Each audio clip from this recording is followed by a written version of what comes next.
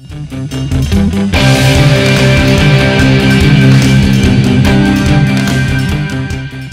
thank you so much for coming along to my talk. Um, I'm Clare Mann, um, vegan psychologist, communications trainer, author, and most importantly, animal rights campaigner. Okay? This is the first talk I have given on the subject of Vystopia or veganism or anything um, in this country, although I originally come from Plymouth, but I'm living in Australia, so this is the first time, so thanks for being part of this, I really appreciate it. Who doesn't know what Vystopia is? Ah, wonderful. We have some people that don't. Wonderful. Well, I'm going to draw you through a bit of a story. We've got 45 minutes. I've got a short presentation just to talk about this whole concept and how it can be valuable to those who carry the burden of knowing. Who doesn't know what the burden of knowing is? Yeah, we all know what that one is. Okay. Who here is vegetarian? Who here is vegan? Who here doesn't want to put their hand up because they're in a really big group of people that they you know, know Who's not going to put their hand up whatever question I ask? Lovely. Well, look, I'm going to work through this. You certainly will know what Vystopia is by the end. And, um, and I'd like to leave it really open for questions because I know a lot of people suffer with the anguish of being vegan in a non-vegan world. Who suffers with the anguish of being vegan in a non-vegan world? Right, the burden of knowing what we know goes on, particularly behind closed doors, is so great. And yet I honestly believe that we are the ones we've been waiting for. It's our time in history to really step up the game and be part of the solution here. And I'm hoping this concept at least is going to give a context and a voice for us rather than being told, well, you were always a bit fussy about animals, weren't you? Which is the sort of crazy things we hear. All right, so I say hold your questions till the end if I can, but it's, um, we'll spend as much time on that, which I think is important. But let's just set the scene, shall we? Imagine one day you're wandering along, life is pretty okay. It has its normal ups and downs, concerns about who am I, do I like my job, do I get on with my family. But on the whole, life's pretty okay with its normal ups and downs. Okay? You might even be involved in the environmental movement or refugees or children. And people sort of champion those sort of issues. However, one day, the veil is lifted. You have your eyes open to something that you honestly cannot believe you did not know it before you know it. Anybody in that situation? Okay, all right. In effect, if you've seen The Matrix, everything's changed. You've taken the red pill. You took a pill that opened your eyes to the trance-like collusion with a world that potentially is so dark that you feel so alone. Okay? I remember when I became vegan 10 years ago, I had that awful moment. What if I'm the only person who knows about this? I've got somebody saying that too. Okay? I actually gave up meat 40 years ago, and I just moved from Plymouth to London, and I was given the book by Bob Geldof. Does anybody remember Bob Geldof? Gosh, if you're a certain vintage, you will remember Bob Geldof. Boomtown Rats. Okay, you walk through the shopping mall, and you hear that, and so this is Christmas. Okay, that was part of Live Aid. And he worked in an abattoir in Dublin in the 1970s, and it was about 79. And I didn't see anything, I didn't hear anything. But I could tell you chapter and verse what happened to that one cow in that moment. And I gave up meat. That doesn't make me any better or any worse than anyone else, but it also means, why didn't I ask more questions? Okay? That is part of our trance-like collusion ourselves. We constantly have to have our eyes open. But you've taken the red pill one day, okay, you suddenly became vegan. I mean, I'm saying that, of course, I'm talking about an ethical vegan whose life is underpinned by a philosophy of the non-use and non-exploitation of animals. Part of that involves diet. It's not primarily diet, that's just one of our behaviors. All right? It's unlikely that someone who's on a plant-based diet alone is going to get too traumatized by people saying you're a fussy eater.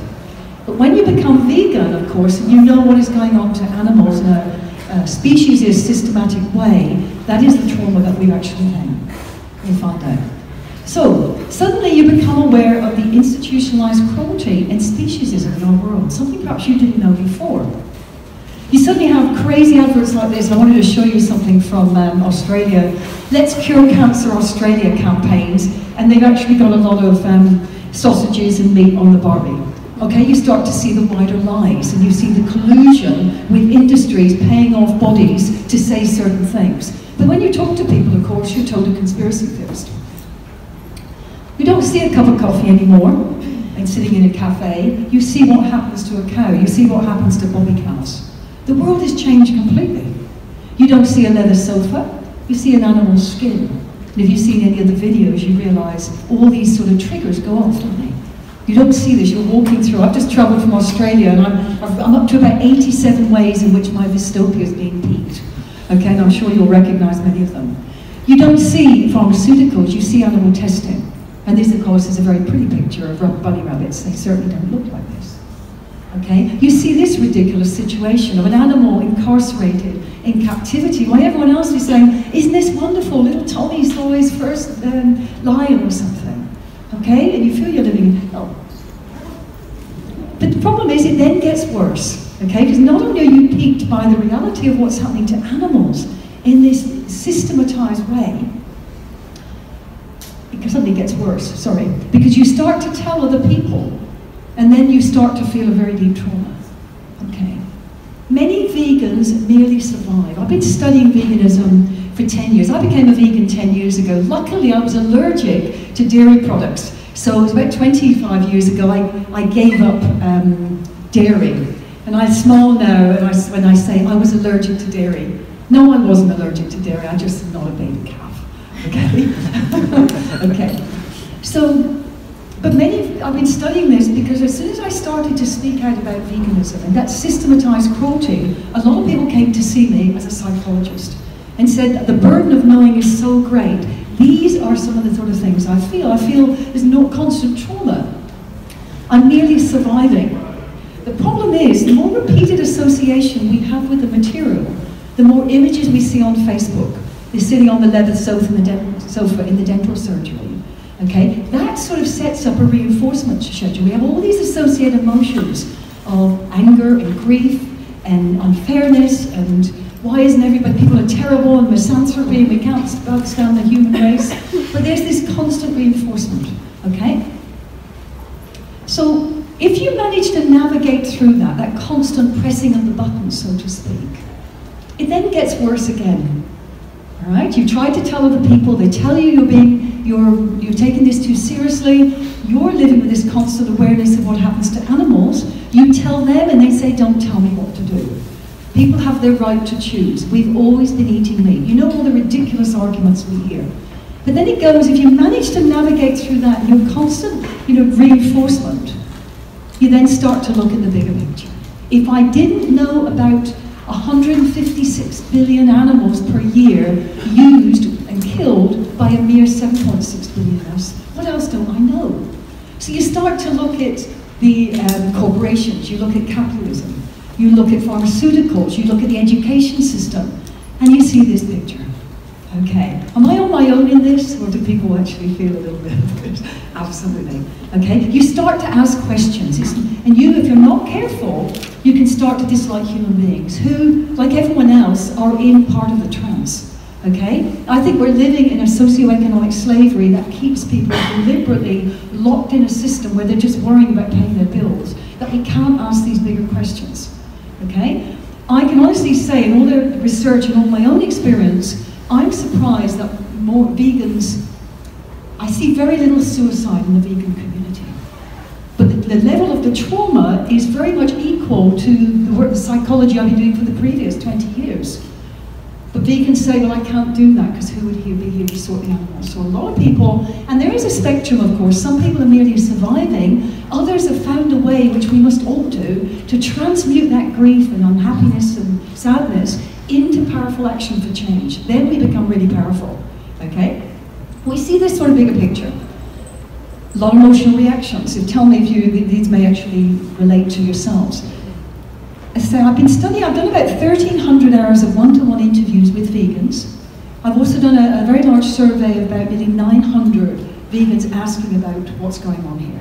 So these are the sort of, I'm giving you a very brief overview of the findings of the sort of things that are going on. And I'm trying not to paint a negative picture by any means, because it's what we do with this which is most important. Okay?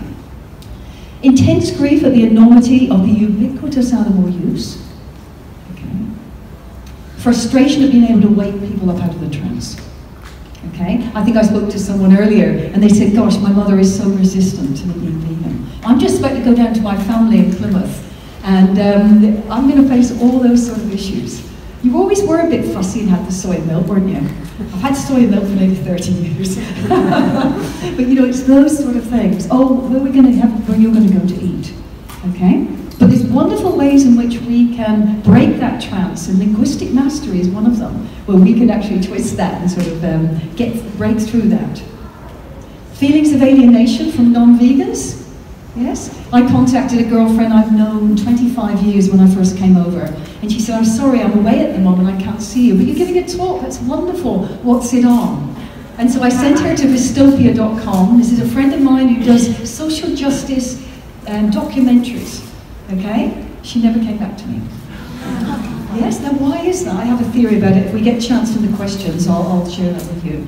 Loneliness within groups you previously felt part of. My experience in talking to people, and also myself, is that suddenly things seem very, very trivial. When you've just come back from a vigil or you've stood in the shopping mall doing the cube of truth or something, people know what the cube of truth is? Excellent, not everybody. Where people are holding up footage of what's happening in factory farms and slaughterhouses. When you see that, going out with friends talking about their new kitchen isn't as exciting. Okay? Having said that, you know, it's, it's not only the vegans that suffer here, we're all at life. We all have the ups and down challenges. And the biggest challenge we have is to be compassionate to people who have not yet had this awareness. Okay. All right, you can see this. You can read yourself. Despair and hopelessness, powerlessness to affect change on a global level. How are we ever going to create a vegan world? Well, if you want evidence of how the, the speed with which this is changing and will reach a tipping point, let's come to the UK Veg Fest. Okay, five years ago, two years ago, well, gosh, 20 years ago when I left, you know, there was nothing like this. In fact, I left and I think Cranks was the only place I'd been eating in for the previous 20 years. Okay, it is happening. All right, and I know I'm giving a talk tomorrow, which is really going to look at, we really don't need to change everybody because most people follow. They're following a, a, an action and dark side in many ways, and a separation and um, individualism that is happening at the moment, which has got us in this mess and not asking questions. We've just to get, get to get people to be trained to a different way of thinking. All right.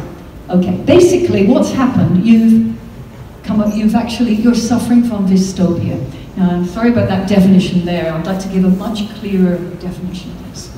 Okay. So, Vystopia is a word I created to explain an experience we a lot of us feel. We all know what a utopia is a place of joy and freedom and, and abundance and compassion. And a dystopia is a world of darkness and greed and totalitarianism. I believe that vegans suffer from a, a vegan dystopia. So Vystopia is the anguish we feel at knowing about the systematized cruelty towards animals. And then when we tell people a trance-like collusion with a dystopian dark world they don't even know they're part of. Okay? But then it gets worse because you suddenly become aware of, well, what about plastic bags? What about immunizations? What about where we told the truth about science? What about aliens? You can never laugh at aliens again. How can you? Because if you didn't know about what was going on here, what else don't we know? But then you're called a conspiracy theorist. Okay? Now, I didn't just do this for fun. I seem to have a blank page here. I did this, don't worry about the one on the right, is to try and contextualize the issue for us. Okay? Vystopia, I think, has given us a word where we can suddenly have an it, so to speak, as opposed when someone says, so why are you vegan? Okay, why is it so important? Why are you so upset all the time? Why are you always asking questions? You probably did before, but you're probably that person who was a little bit difficult. Vystopia gives us a context to try and do that. It also shows us the extent of the experience, that it isn't just, well, I just, I'm concerned about animals, although primarily that's probably the most, that is the fundamentals of veganism. But you're suddenly asking much bigger questions about the trance we're in and what have we been lied to about. How can we break that trance and ask questions about our world? Okay? But it was really also to avoid medicalization. Do we have any doctors here, psychologists, um, nurses? Okay, quite a few. Okay. I found that GPs, I see clients a couple of days a week in Sydney, and people were referring, sending people to me that they believed had eating disorders. Now, many clients, many vegans may have eating disorders. It's because they did not want to eat animal products. Well, that's dangerous when you start getting a medical label. They also said they had social adjustment disorders. Now, this is all in their medical records. Social adjustment disorders because they didn't want to go home and have the family roasted on Sundays. Okay? Also, that they were self harming because they were watching films like Earthlings or Dominion. And it was another form of self harm rather than perhaps cutting themselves or using other forms of medication. Where does that go? Where that goes is that a pharmaceutical company will create a drug. Okay? So I realized that if I didn't come up and say what it wasn't, that it was not a pathology, it is a normal and predictable experience that we should all be feeling. Okay? If somebody truly comes aware of what happens to animals and our planet and in turn people, we should be in anguish. Okay? We don't have to stay there, but we should be. It's a normal and predictable experience. So I felt that I'd, I've given a name to this to be more of an existential experience, i.e. you wake up one day and everything has changed. Right? Even a bit of music to reinforce it. Okay, now what are the solutions? Okay, how do we deal with a sense of knowing and anguish? And it is anguish. You know, um, I've trained myself very well to, when I wake up in the morning, is to switch to something very, very positive and to create that context for the day. It doesn't take much to peak me, you know, to be thinking, a lot of the time I'll be thinking about animals in, in, in factory farms. Okay, and it gives me a huge passion and a determination to do something. Okay, but the reality is, a lot of people, you know, how do we find these solutions when we feel potentially powerless? We have to become part of the solution. How do we transmute our grief into powerful action? Now, I only have such short time. I'll, I'll, zip through these, but then we can actually have a conversation, which I think is probably better. I think we've got to become an exquisite communicator, okay? Because when people ask us these sort of questions, and we don't know everything, we have to be the most influential people.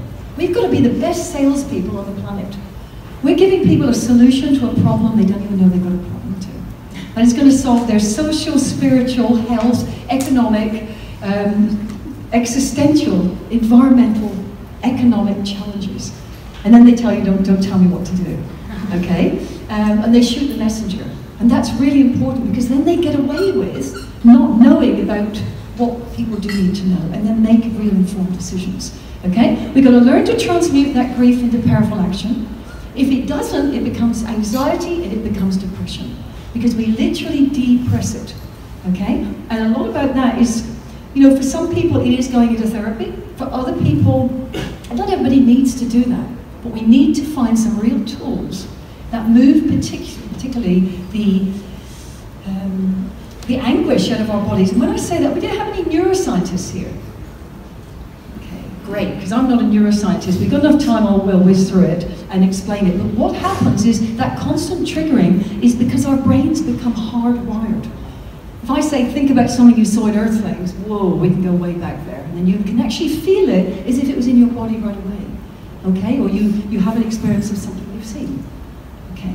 Now, that becomes our neurons fire and wire literally. We think of something, oh my God, I'm way back there. Or we see something, and it takes us back to something else we saw. Our body, our thoughts, feelings, and actions, literally, a little electrical circuit gets set up. Very hard to change that when we're conscious. Doesn't mean we have to be hypnotized, but doing things like meditation and yoga, lowering our brain activity, enables us then to teach our bodies emotionally what it feels like to be in a vegan world. And then actually fire and wire on very different things. I'll be going to talk on that tomorrow when I look at mental health and communication. There's a nice little, I've got a lot of freebies that I want to give people, programs, and one of them is called Essential Skills for Vegan Advocacy. It's a video program, I'll give it on the next slide, which talks about this very thing. Things like emotional freedom technique, anybody know what that is? People, wonderful. So when you feel a sense of being triggered by something, there's a wonderful technique that is used with trauma patients that can't talk about the details, nor need to, about what's happened in their lives, but their body's remembering it and they're having flashbacks or you know they're feeling and having nightmares. Okay, I'll, I'll give you that course in a moment. We've also got to become exquisite communicators. And I said, how to influence people. All right, somebody said to me the other day, um, they say, oh, I love animals. Okay, and you, you know you know when you've got people and they say I love animals and then they sit down to steak and chips. Okay, what do we say back to them? Are you a vegan? I'm sorry? Are you a vegan? I would ask them. That's right. That's right. And immediately they go, well, what's that got to do? No, of course I'm not, or whatever. Or we immediately go for the thing. Yeah, we say those sort of things. I had a nice response because I, I, it's about breaking the trance. Because often they shoot the messenger, don't they? Oh God, you're not going to try that again, are you? This person said, I really love animals. I said, oh, that's fantastic. I love meeting vegans. oh, I'm not a vegan. How does that work? Okay, and that poor person was then forced to say to me, but what do you mean? When we get it coming out of their mouth where they're asking us questions, they lean forward, as opposed to don't tell me what to do. Okay, the first thing we want to say though is that you're a vegan. Okay? Or you know, I know I'm going to go down to my family, so why are you a vegan? Okay, well I'm more than happy to tell you that, as long as you answer afterwards why you're not. Okay? If we say it with sarcasm or anger, we get people's defenses up. When we become a little bit sort of social and playful, you know, we're getting them to be able to trust us, not in a manipulative way. Because everyone who's become vegan, I'm sure, says, I wish I knew years ago I would have been vegan. All right? Can you imagine if they come to us and say, You didn't have the guts to tell me? You were a bit afraid, you might be embarrassed, or I might have a go at you? We've got to overcome some of the most difficult social barriers, as well as what we know. And then it's about collaborating. Okay, and when I say collaboration, it's not someone standing at the front and saying, I've got the answer, I'll take your opinions. It's saying all of us have got skills and attitudes and ideas of how we're going to do this. We've truly got to collaborate and share our talents. And I see a lot of fighting, as no doubt we all do, between different groups.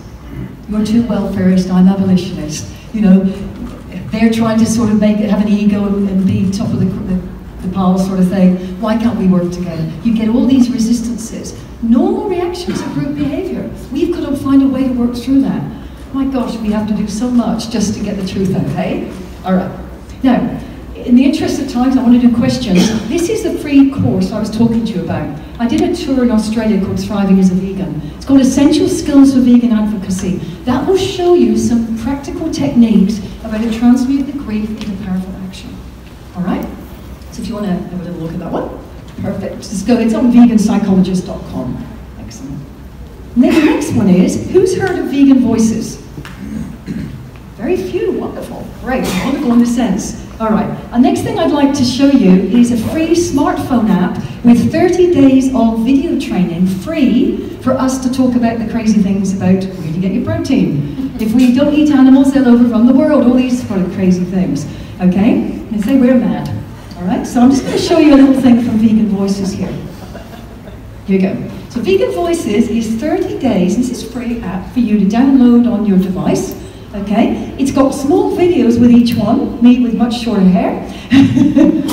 okay, and then you go, um, you can actually see here, it's got a tip there, it says how we talk about this. You then go to the resources section, and you can actually, um, you've just talked to your mum about where to get your protein, Okay, you go to the resources section looking at things like environment, social justice, health, and you find a suitable video or link or something you can forward to mum.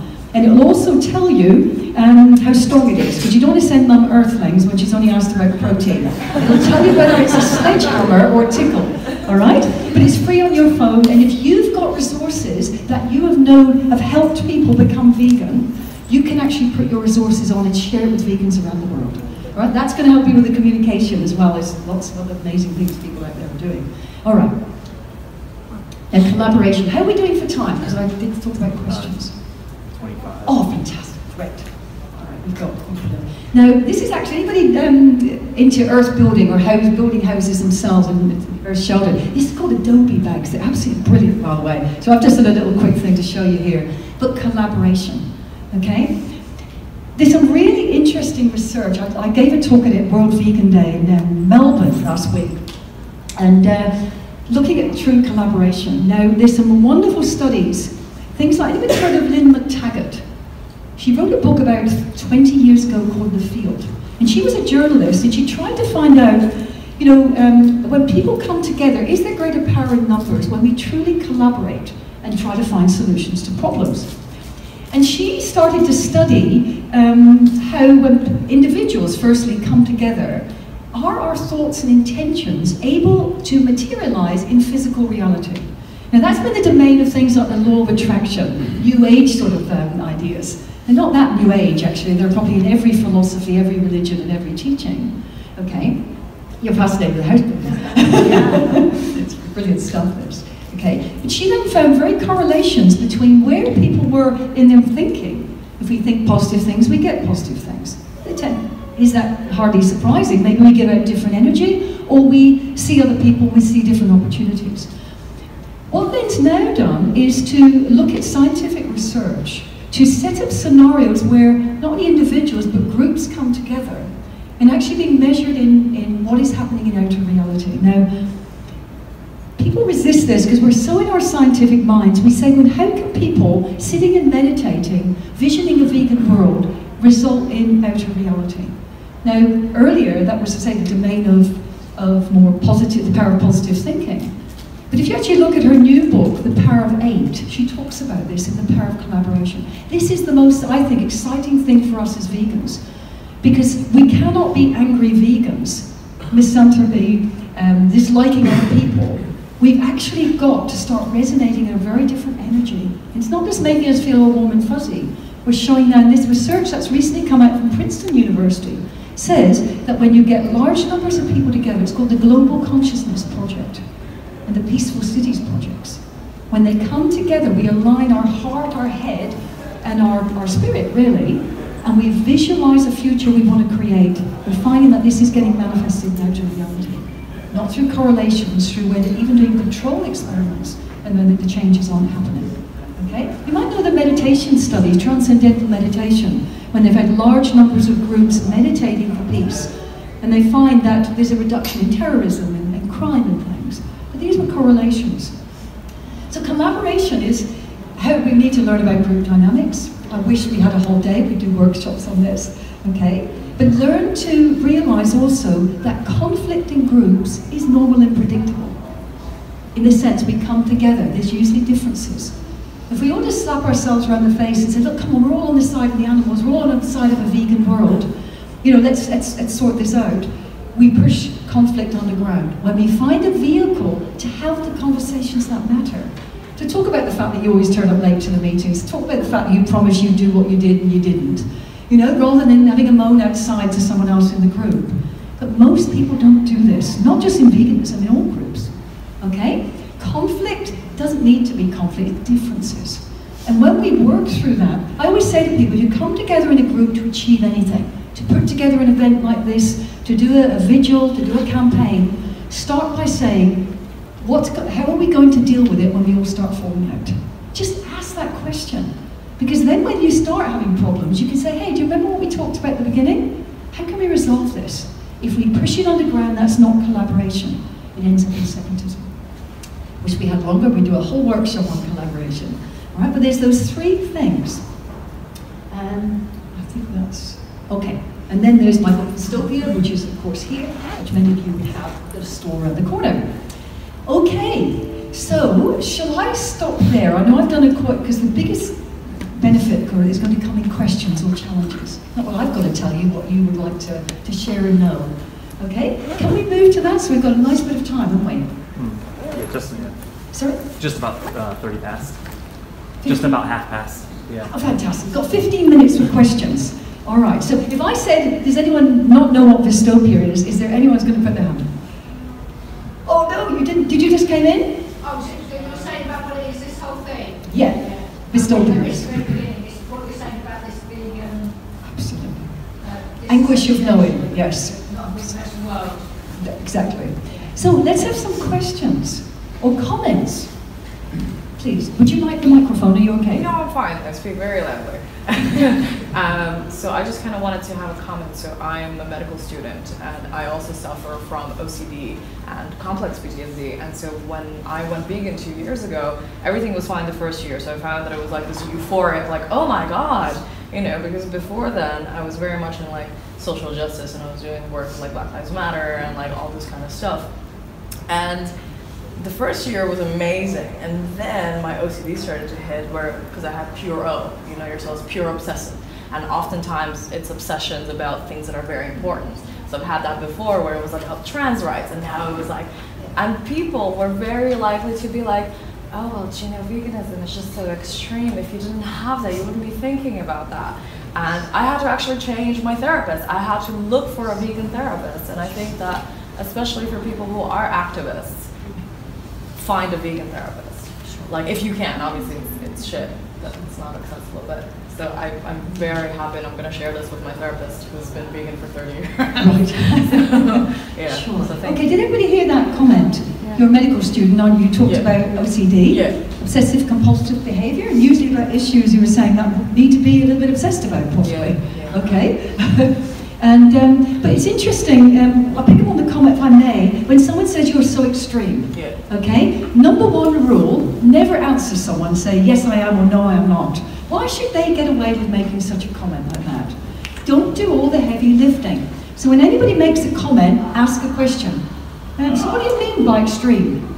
Okay? Because we are often playing table tennis. They say something, we say something.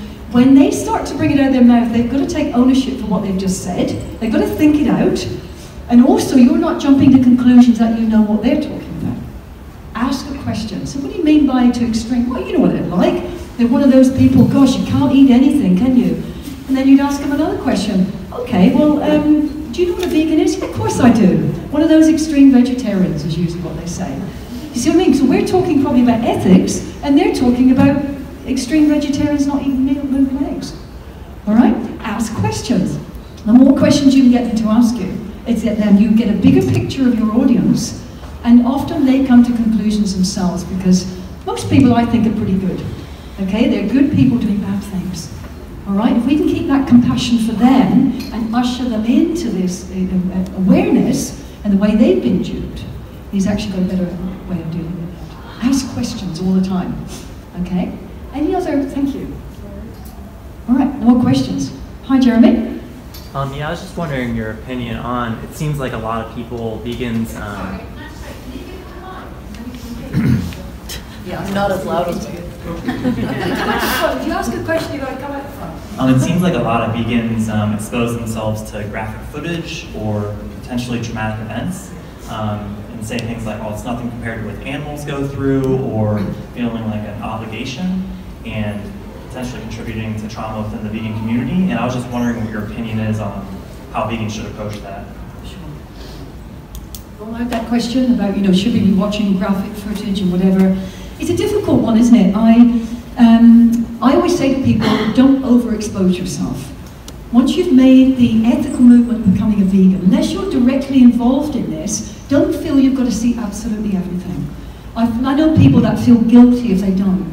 You know, I, in, in Vis, the Vystopia book, I, I talk about a story of a woman who was having root canal therapy, um, not therapy, that's an interesting form of therapy, root canal therapy. it just goes on and on. Eats into your budget. I was hoping got lots of humour we could do around that. She was having root, root canal dentistry, and the um, anaesthetic wore off.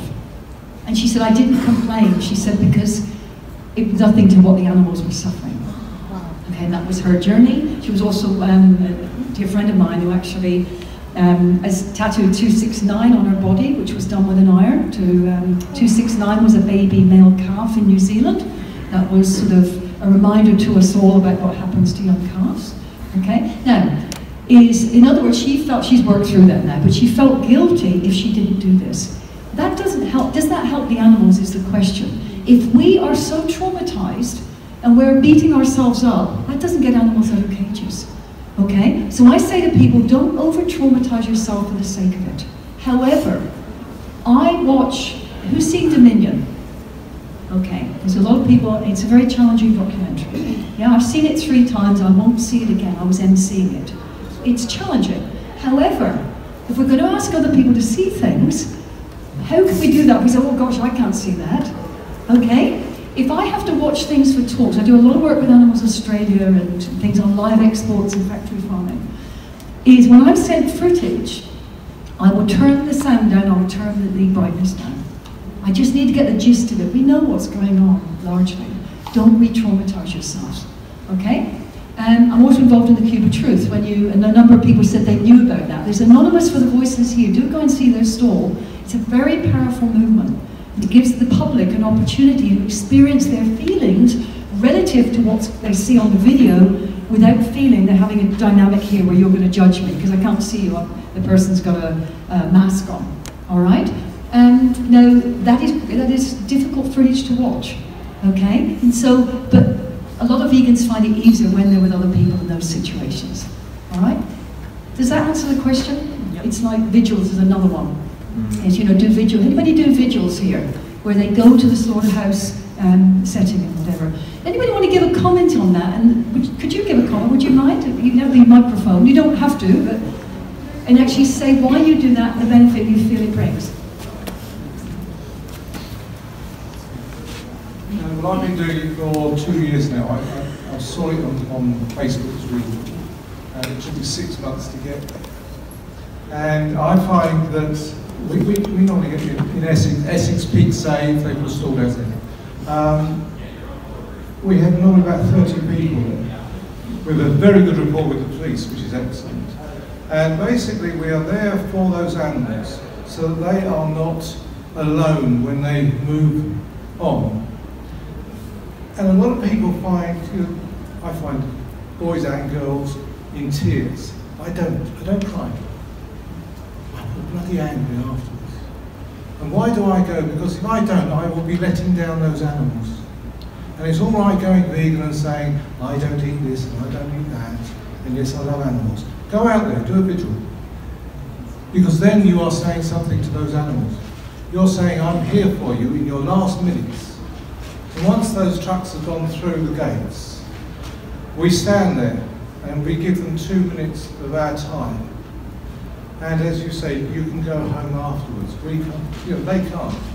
And you stand there, and if the wind's blowing in the right direction, you hear their final cries. And that's what is being a vegan means to me, is to listening to them. Bugger all the carnists.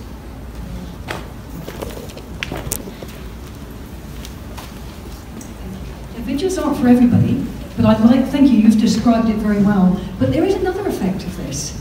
Um, somebody came to see me um, who was not a vegan.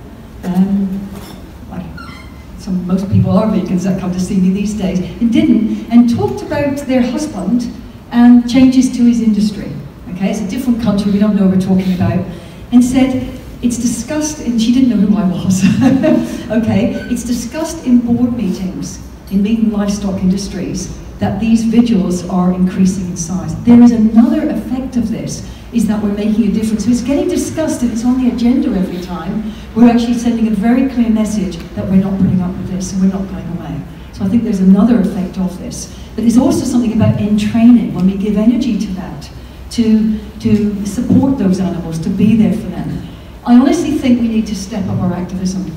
You know, the basic we can do is be a vegan, you know, find your craft, whether it's making cupcakes or whether it's going to the slaughterhouse and doing undercover footage. But actually, all of us need to resource ourselves to have conversations every day. But I am encouraging people to get far more involved in the cutting edge, I have to say. Because actually, there is this energy building up, and we're on a wave here, and we've got to get out there and make a difference. That's why it's, it's happening at a collective level. Thank you for that. Any other questions? Somewhat, um, I can I take the lady? comment. Sorry. I just wanted to add on the save sorry. Yeah, just add for the safe thing and then pass to the lady at the red if we could. Jeremy. Is I, I like the idea of my beautiful assistant. He's doing a wonderful workshop after this on self-care. Jeremy Hess, downstairs. Oh, sorry, I had to use it. Um, so I just kind of wanted to add to that, like what you said, it's beautiful and it's very right. I think we should be doing more actions. However, given what you just talked about and how much trauma that comes in, please don't force yourself to do it because you're gonna hurt yourself, and if you hurt yourself, you can't help them. Decompress. Make sure that like when you go, you go with a group. Um, like I try to minimize it to like once a month because I get very impacted by it. If you don't, great, do it more. Uh, but yeah, just kind of have that self-awareness and like know that you're loved and cared for, and like try to have lots of communal love because that really helps. So I'm sorry. Thank you. No, very important. Thank Who's back to the lane in red? I mean, Jeremy's, Jeremy's going to be doing a wonderful workshop in a while on self-care. Just goes back to the basics, what we eat, our exercise, our downtime, And I honestly think that's essential skills of vegan advocacy, how we can transmute that by using lessons from trauma, get it out of the body and move it into something else. Right next to it, right up close, please. Okay. Um, first of all, thank you very much for what you do for the vegan movement and thank you to other vegans for all the things that they've said. Um, my question is, sometimes I find it quite hard to be quite positive. Like I know I tell my sister sometimes, like I find out, like the other day for example, I heard that the United Nations came out with a report that we only have 12 years to save the earth. And for every vegan, we have 100 non-vegans. And I, like, I try to remind myself about all the positive things that are happening and that the amazing rate the vegan movement is at Go Guys and how you know, big it's getting. But I still find myself feeling quite sad sometimes. Like I, for the most part, I am quite positive, but there are like times where I feel quite down. Is there anything you can say for those times that maybe I should do or say to myself or remind myself of? Sure, did the mic back for a minute. okay, everybody heard that thing. What can we do? You know, when we look sometimes we think, oh God, this is just too difficult. Okay? Right.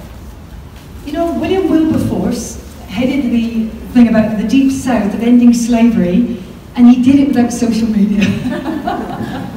yeah. Do you know, sometimes it is difficult to remain positive, isn't it? Sometimes the problem seems too big. Is number one, never, as Gandhi said, if you think something small can't make a difference, try going to bed with a mosquito. okay? Get your own house in order. We are all part of the same thing. When we start to look at things like quantum science, quantum mechanics, we really are all resonating. It, you know, we are part of the, in fact, it's a myth that we're separated, really. Okay? So number one, extreme self-care is something to resource yourself to actually remain well. And I'll let Jeremy talk about that, but health and physical um, exercise and downtime and, and meditation is so important. Who here meditates? Quite a few people, that's right. He does that. All right. Now, also, I'll, if I've, I'll tell you a little story about, in fact, I write about it in Vystopia because there's solutions which are most important, but there's three things I think that can give us great hope. And you think I'm a, a historian now, I'm not, it's just I've written about it. In 1669, there was a guy called Christian Huygens, and he was in somewhere like Switzerland, but certainly in Europe, and he had a lot of grandfather clocks in a room, and he was a clockmaker or whatever. And they started, you know, all the different pendulums are going. And of course, they're all going at different levels. And he found that over time, they all started to synchronize. Okay? So he started studying it. He put huge numbers of clocks in a room, and over time, instead of all just, excuse me, going like this, they all started to go together. And it's called a process of entrainment. Entrainment is when two oscillating bodies start to go into synchrony. Now it happens in mathematics, um, other forms of science, biology, chemistry, architecture, astronomy. It also happens in society. Now at the moment, people are entraining to a dark side. If I get a big enough power, not just because they're bad, I don't mean that, if I get enough money and I get enough of my own thing, one day I'll be free and better choose what I want. I'll write that to you. It's, um, but actually, we're training to, oh, well, it's, you know, if you don't look after yourself, you know, people will take advantage. Having a view of the world which is very self-centered, largely because of our socioeconomic system, once we start to get them to entrain to something else, is actually, when the opportunity is there, people will, I believe, they're, we're actually hardwired for empathy. You'll see a lovely YouTube video called The Empathic Revolution. It says that the neurons in our brain, we're, we're wired to come together and collaborate and be kind. It's just that we're struggling at the moment to pay our bills. So think about entrainment is one thing there. And there's also something by Malcolm Gladwell wrote a wonderful book called The Tipping Point. We don't have to change everyone. Have I got time, Jeremy, just to give the social change? It's 45 past the go, yeah. Oh, couple of minutes? Okay. Yeah, you got time. Thank you. Okay. Um, any statisticians here? I ask this because I'm not, and my very simple language will explain this. When we look at all social change, it tends to be evenly distributed, like a normal bell distribution. Okay? It happens in all social change, it seems to happen, but also when people buy products. Let's take an example, and then we can apply that to the animal social justice movement and veganism. Let's think about mobile phones. Who had a mobile phone 25 years ago? No one. Who, has a, who doesn't have a mobile phone? Do you have a mobile phone? oh, so I'm just still answering the lady. Come, can I come back to your question? Oh. Okay. 25 years ago, when I was still in London, I had a boyfriend then who got onto the mobile phone bandwagon. And he started to get involved in it. And everyone said, oh, don't waste your money. No way will people want to be at the beck and call of other people. Okay? He makes up, he's what's known as an early an innovator. A person that gets onto something when everyone says it's never going to work. They constitute about 2.5% of the population.